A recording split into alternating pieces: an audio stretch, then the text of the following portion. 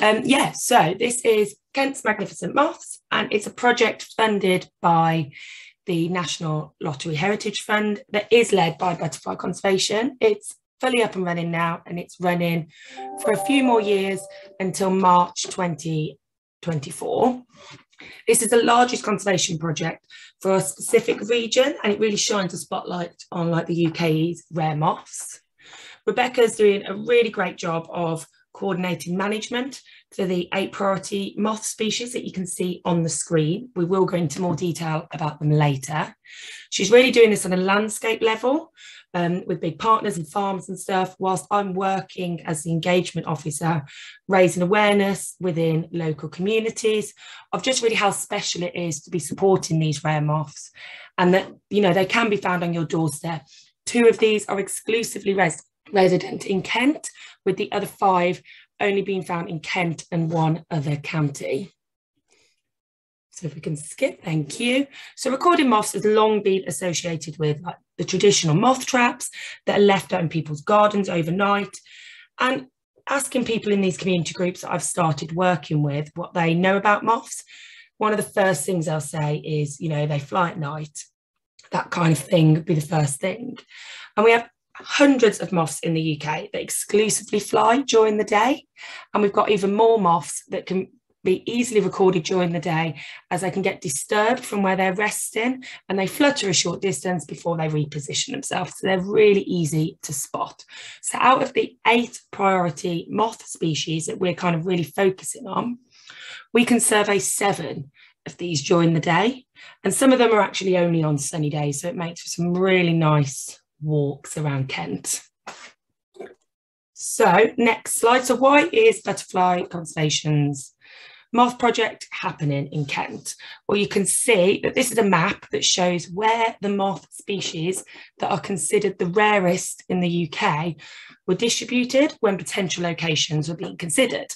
You can see there's a few hotspots. They are all found in the south. So obviously the more red it is, the kind of more dense those populations are.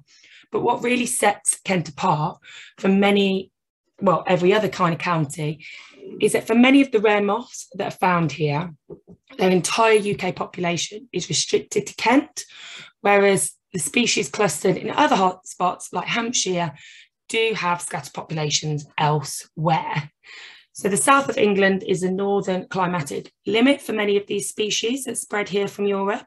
And with Kent's proximity to the continent and the wide range of habitats really, um, many species that have been declining across their former ranges, kind of been retaining a foothold in Kent. And then some of the moths that have colonised the UK from the continent have reached Kent first and they've not actually spread further in the UK. So a few of these moths have kind of done the opposite um, of this trend now, such as the brightly coloured Jersey tiger moth that you can now see, that is now both a migrant and a resident in Kent. And you may have noticed the caterpillars of the toad flax brocade moth in your gardens, as they have only just begun breeding more widely across Kent in kind of the last decade or so. So their past preferences were of the common toad flax, which is found on shingle.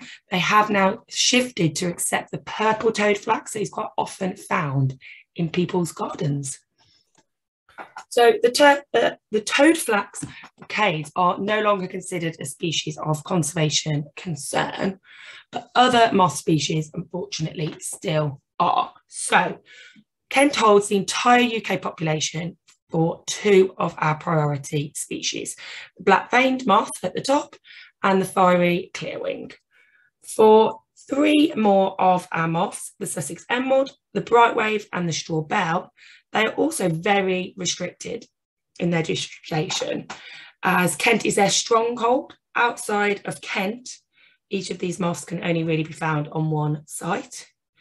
The next two are only found in one other county apart from Kent in the UK. So the marshmallow moth is just living just across the border into East Sussex. And then the Fisher's estuarine is only being found along the Kent, um, the Essex coastline, sorry. It is in decline in other European populations as well. making it the only UK breeding moth to have additional protection of European protected species status. And then the last moth in our eight priority species is a little, very small micro moth called white spotted sable, which gets seen in a few other counties, but is severely unrecorded. It's not helped by its day flying and it's really, really small size, about size of your thumbnail. So throughout kind of our project, we'll be encouraging um, surveying for these priority moths. The kind of we need to be getting more people recording them to improve our understanding of where they found, where they, you know, if they're moving on to other food plants, so that we can target conservation advice and management to the sites where it is most needed. So finding out that there are over 2,500 moth species in the UK can be a bit intimidating to hear for people if you're just considering whether to start getting into moth recording. So starting by getting familiar with some of our day flying moths is a great entry point if you want to learn a few species that can be seen during your daytime walks anyway, but aren't necessarily ready to have your own garden moth trap and identify everything in it. I'm sure you already know from things like the big butterfly counts, other citizen science schemes, a few moths have been sneaking into the count in recent years. And day flying moths can be bright, colourful and common like the Burnet moths, but butterfly conservation consistently receives fewer sightings of these moths compared to the butterflies. A lot of people are still just quite unfamiliar with them. But last year we held the first big moth safari, which was a week of engaging the public with moths, introducing them to some of our commonly seen day flying and night flying species, as well as explaining how to make your own moth trap and which plants would attract moths to your garden. So look out for the return of the Big Moth Safari across our social media channels and website, which will be held during the last week of June this year from the 20th to the 27th of June. So for half of our project species, sunny daytime walks are the recommended way to survey for the adult moths. They live in very specific areas of Kent and their numbers peak for just a few weeks of the year. So if you have a free day to visit their habitat during their peak flight period, the chances of finding them are very good if you visit their known sites. There is potential to record these moths on your field days when finding these moths wasn't the intended purpose of your visit though. The white spotted sables can be seen flying alongside heath fritillaries in Blean Woods and Duke of Burgundies in Denge Wood. And straw bells can be found alongside the wart-biter crickets at Lydden Temple Ewell, as they have very similar habitat preferences to them. So starting with Anania funebris, commonly known as the white-spotted sable, our project's priority micro moth that flies exclusively during the day. Now this moth has quite a distinctive appearance, being black with white spots and having these bright orange hair tufts. But we don't receive many records of this moth from areas apart from Bonsai Bank in Denge Wood though. They're probably overlooked in most places, as despite their unmistakable appearance when seen close up, they are around the same size as an adult's fingernail. They also have the frustrating habit of flying in a spinning motion to the ground and disappearing amongst vegetation as soon as they're disturbed. But records have been received within the past five years from across the Blean Woods complex, as the adults do fly around the same time of year as heath fritillaries, so they can be encountered, especially in sunny glades and rides where goldenrod grows. And Cook's Glade within RSPB's Churchwoods is specifically where a lot of the records have come from in recent years. Their distribution is thought to be restricted by the abundance of their food plant, which is goldenrod, this is the native goldenrod, not the big bushy Canadian goldenrod used as an ornamental in people's gardens. And going against the stereotype for woodland wildflowers, goldenrod chooses to flower in late summer and early autumn, and unfortunately is in decline in woodlands as they become too shaded, which then has a knock-on effect on many species, including over 40 moths that feed on goldenrod in the UK, one of which called the cudweed has already gone extinct. But these woods were surveyed for goldenrod this summer. So if you are interested in helping with the search for these moths in spring, we can share these locations of the denser goldenrod patches with you, which will allow everyone's searches for the adult moth to be very targeted to these areas. And we're hopeful that we will discover they are more widespread than our current distribution map would lead us to believe. So the next moth to start flying in the year is the black-veined moth. This moth could previously be found in other counties in England, but now it only remains on chalk grassland within the Kent Downs landscape, specifically in the Wye and Crundale area where farmers and other land managers are specifically guided by Natural England in how to create and conserve the suitable habitat for this moth. Now, it's not as specialised with its habitat requirements when it's found on mainland Europe. So we think that the British population that's now only found in this area of Kent is considered distinct and critically endangered, making it the rarest of the project's eight priority species, as it's found in just 10 fields, all in this area. Now, black vein moths require a mosaic of habitat, including shorter, more herb-rich areas of chalk grassland where their larval food plants grow, and longer tall grass tussocks where their eggs will be safe and their caterpillars can shelter.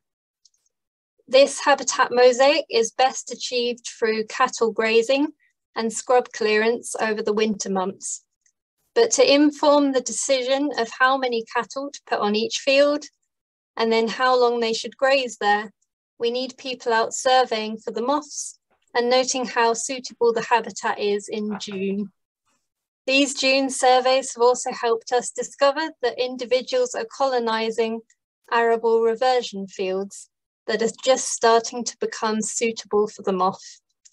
And we will have guided days in June that you can join to find out specific sections within YNNR where we need more people recording these moths during their flight period. Okay, so the bright wave moths are adults from mid-June to early August, so they're kind of the next in the adult flight period of our priority moths. And most of the sites in Kent are being in the Sandwich area, and there's a smaller population in the area of Stodmarsh, as you can see from the map. So coastal development and invasive species are encroaching into these moths' habitats quite significantly. So suitable habitats for these moths are really decreasing at the moment but we can't contribute to the conservation of the sites we're not aware of. And we believe that there are more breeding sites that remain like undiscovered. So it would be really worthwhile looking out for these moths anywhere along the coast between Ramsgate and Kingsdown, along the coastlines, along coastline sites that are warm with free draining substrate like shingle, where you can find low growing plants in the clover family, such as kidney vetch and hop trefoil, which are their larval food plants. So the next one is the straw belle moth, and this is the last of our moths to emerge that you can survey during the day, and they can be found from mid-July to early September. We can easily tell whether these moths that we find are male and female based on their antennae, which is feathered only in the males. And as you can see, they look pretty cool. So most of the sites where they are found in Kent are in Folkestone Downs, with a smaller and declining meta population in the Medway Downs area, and then just one isolated site in Surrey. So Butterfly Conservation advises on suitable, habit, uh, suitable grazing regimes for straw belle sites over the winter months, but it really needs the help of the volunteers to monitor these moths throughout the summer by just walking the sites for a set amount of time and noting how many you encounter. In years like 2001, when the August weather didn't really present us with many sunny surveying days, it was really a struggle to survey all their known sites even before we could start looking at some potential sites. So this moth could really do with some extra people out looking on those sunny days during August.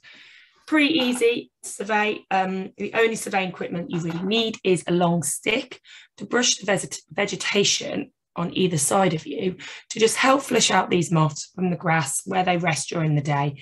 And then they'll just flutter off slightly and reposition further along. Um, so the country, the White Cliffs Countryside Partnership manage a lot of the straw belle sites. So we'll be holding days with them throughout August to kind of show you some of the best sites and to go through those survey methods.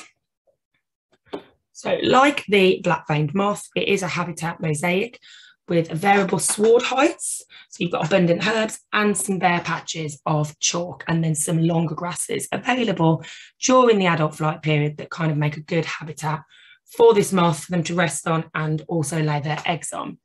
So the straw belle moth are found in the hills of Folkestone Down area, but only really on the south facing slopes due to their preference for warm microclimate.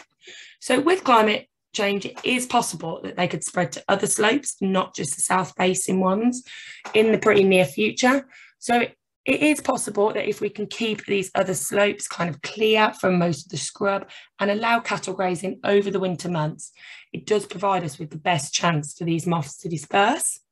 So straw belle caterpillars are cryptically camouflaged. They really blend in with the dead grass stems, as you can see from this photo. So you're really not going to see one unless you are really looking for it. They're thought to use a variety of caterpillar food plants, hence this like mosaic kind of need, you know, using wild parsnip, yarrow, fairy flax and wild thyme on sites where these are found, we'll be looking out for their caterpillars in June. So on the chalk grassland site, there are many more species that are under recorded and could do with a few people looking out for them if you are in those areas anyway. So a few species specific to chalk grasslands are the chalk carpet, the lace border, and my personal fave, Oncocera semirubella, which is commonly known as the rhubarb and custard moth. So these moths all indicate you're, you're in a good quality chalk grassland habitat. And whilst you're on surveys for straw belles, it's very likely that you'll see these moths as well.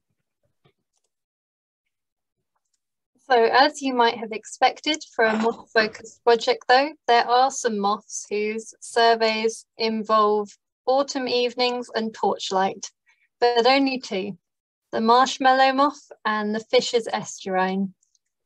There will be bigger publicly advertised survey evenings to offer you a rare opportunity to see these moths, as they are both legally protected from disturbance and so require a license to survey them.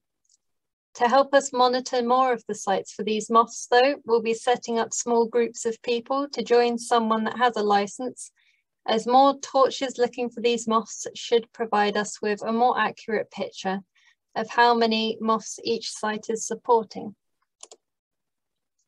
This moth may not be flashy to look at, but the entire UK population of the marshmallow moth numbered around 100 individuals seen last year across just a few breeding sites in Romney Marsh and a few along the River Medway.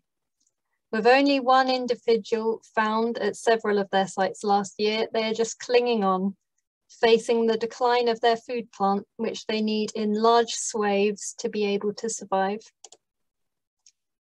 Monitoring is needed for each marshmallow moth site, both during a day in August to count the number of plants that have come up to inform whether any change in management is required, and at night in September with a torch looking for these moths themselves. Their strongest site is a farm near Rye, But here the moths are unfortunately facing additional pressures from the local spider population, another factor to be monitored and considered in our surveys.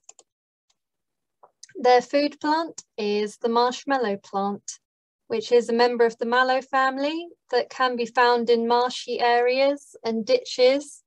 Um, it can be found in drier areas as well, but they can be outcompeted a bit by thistles and bristly ox tongue.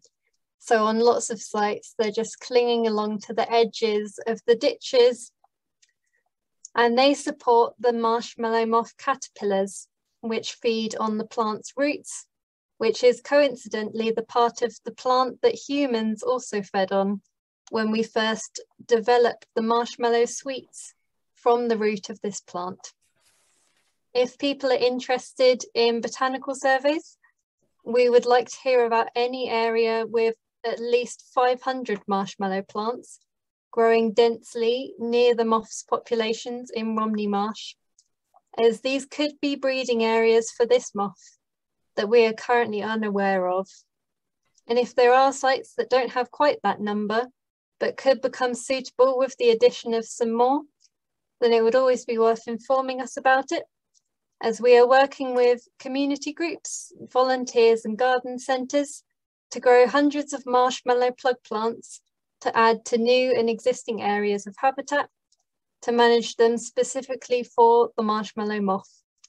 As supporting a population of this moth requires a dedicated area with hundreds of flowering spikes of marshmallow plants. So most gardens won't have the space for a large enough area to help this moth but people can still get involved and help by growing on marshmallow seeds into small plants and coming to a planting day at one of our habitat creation sites next summer to add them in a location where the moth will be more likely to find them.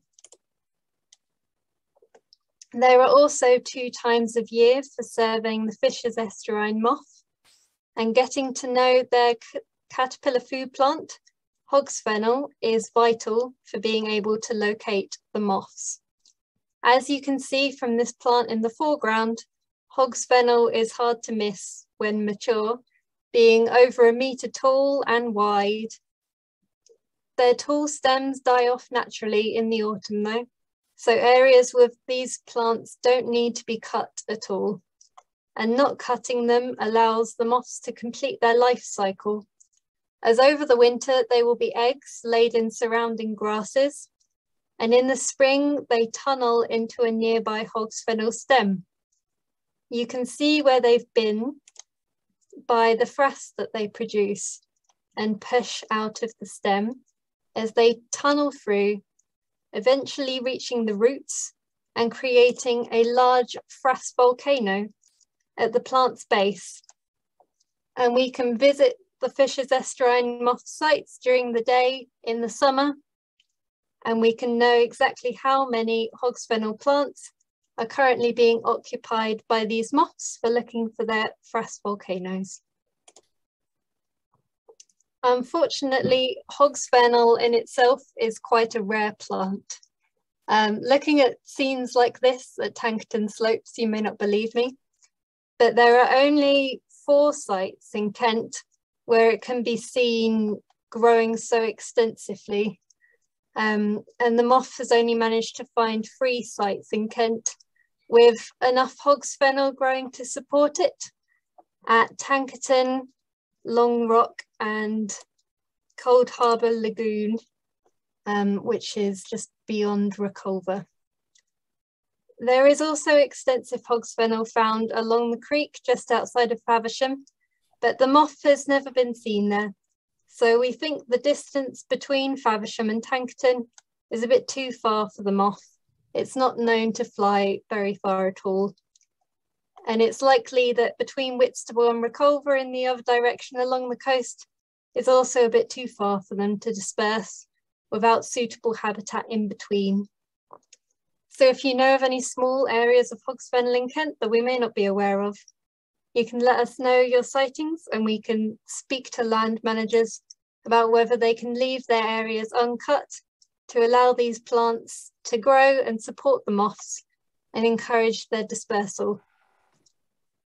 On sites like Tankerton Slopes, where over 90% of the hogs fennel plants are now occupied by the moths, we are recording more adults here during our torchlight surveys than at any other site in the UK.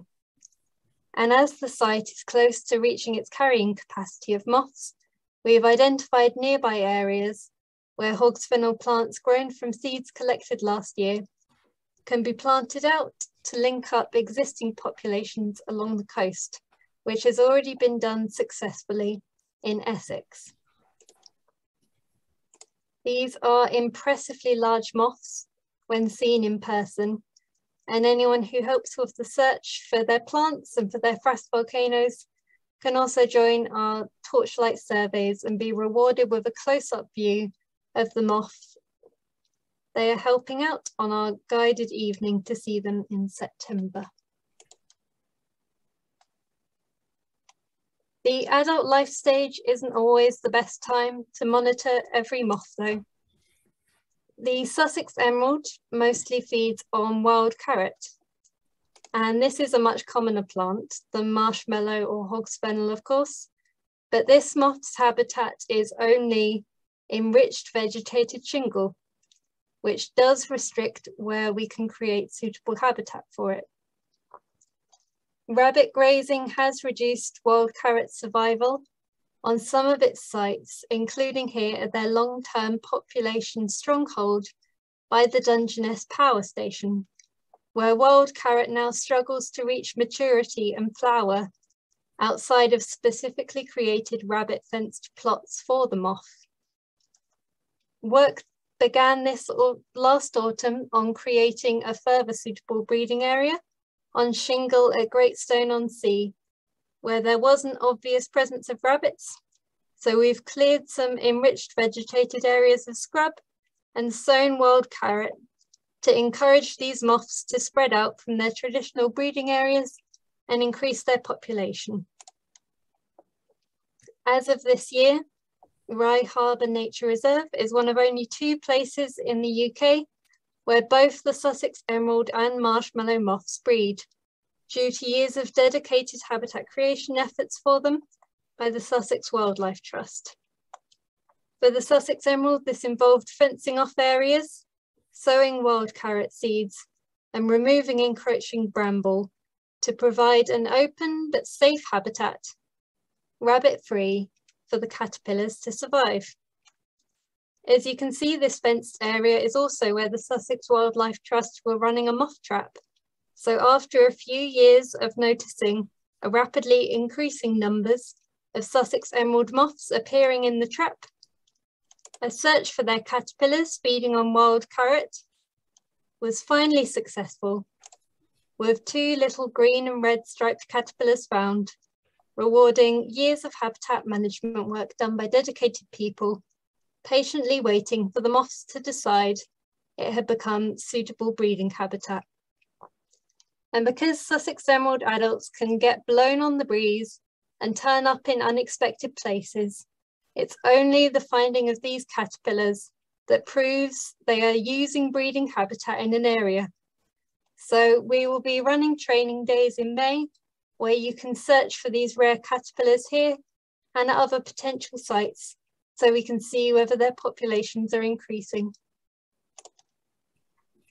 Okay, now on to one of our project's early successes, expanding our knowledge of this moth's habitat requirements. So there are a total of 11 clear-winged moth species in Kent.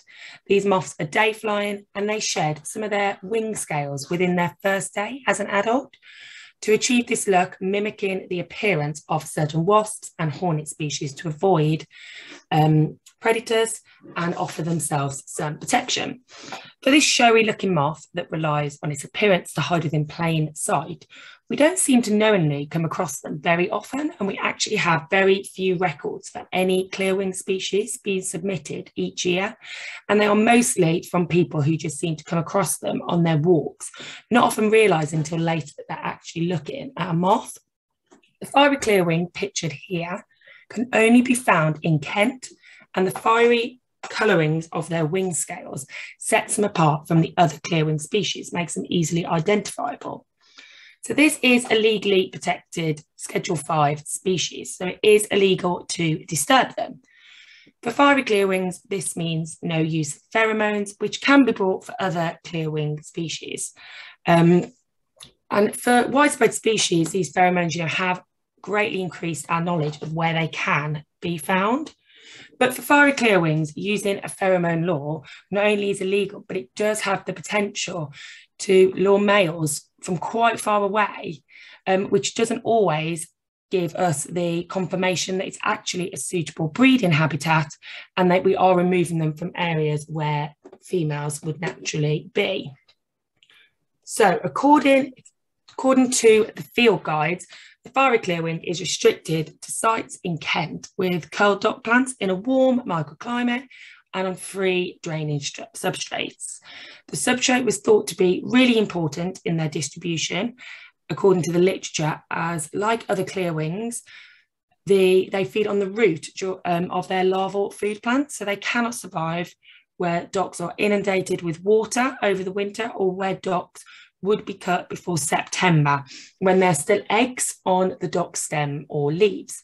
So this meant that until this year, only habitats like shingle at the top of beaches and a few brownfield sites and road verges were being searched to find these small black eggs you can see just pictured there. The number of eggs being found at these sites were decreasing though, with some sites being lost altogether as the curled dock plants were removed out of cracks in the sea walls, brown sites were developed with mitigation efforts failing and increasingly powerful winter storms reduce these areas of shingle beaches where the dock plants kind of just get washed away. So some coastal sites become less suitable for them and a few sightings of fiery clearwing adults were increasingly being reported inland. We checked some of these sites and similar ones nearby. This included farms, tall grasslands on heavy clay, and to our surprise, with the help of volunteers, we have found fiery clearwing eggs at 13 new locations across north and south coast of Kent last year. So these were mostly on sites thought to be completely unsuitable for them. This really opens up opportunities for the people across Kent to look for fiery clearwing eggs to help us track their populations as they spread inland to kind of unpredictable locations. Egg searches also provide the chance to legally see the adults because if you're finding the eggs, the moth that laid them probably won't be too far away. In fact, last summer, there was a mating pair right next to the dock plant Rebecca was checking at one of the new sites this summer. So a site that is in need of active work to kind of maintain their population of fiery clearwing is Samphire Hoe. There's a shingle bank just on the right as you drive down into the site and every year curled dock plants are grown and planted out on this shingle bank for fiery clearwings to use by the volunteers there. There are dock plants in other areas of the site, but this is the only area where fiery clearwing eggs have ever been found. So in the summer, we'll be holding a big Meet the Moth Day there for people to hopefully see fiery clearwings and kind of learn how to recognise their eggs. Once you know what you're looking for, every dock plant you pass on a walk becomes a potential place to discover a new breeding site and it becomes quite addictive. Uh, Rebecca and I were checking every single plant we came across to just to see if they were there. So the docks growing next to this cone were chosen as a place where one female laid her eggs last year.